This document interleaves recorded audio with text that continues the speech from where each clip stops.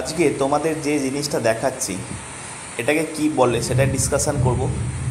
এটা হচ্ছে আমাদের প্রেসিপিটেশনের একটা ভাগ। আমরা জানি টাইপস অফ প্রেসিপিটেশন অনেক রকমের হয়। যেমন হেল হয় রেন হয় ডিজিল হয়। এটাও হচ্ছে আমাদের টাইপ অফ প্রেসিপিটেশনের একটা ভাগ, যেটাকে আমরা বলি রেনফল বাংলা কথায় যেটাকে বলা হয় বৃষ্টিপাত। এবং বৃষ্টি হওয়ার পর এই যে মাটির ওপর দিয়ে জলটা যে বয়ে যাচ্ছে আপ গ্রেডিয়েন্ট থেকে ডাউন গ্রেডিয়েন্টের দিকে এই জিনিসটাকে কি বলে?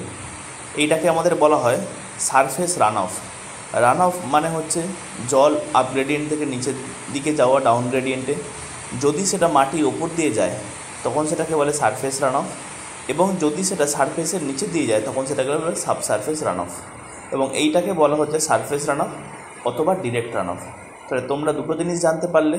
প্রেসিপিটেশনের একটা ভাগ রেনফল এবং সারফেস রান অফ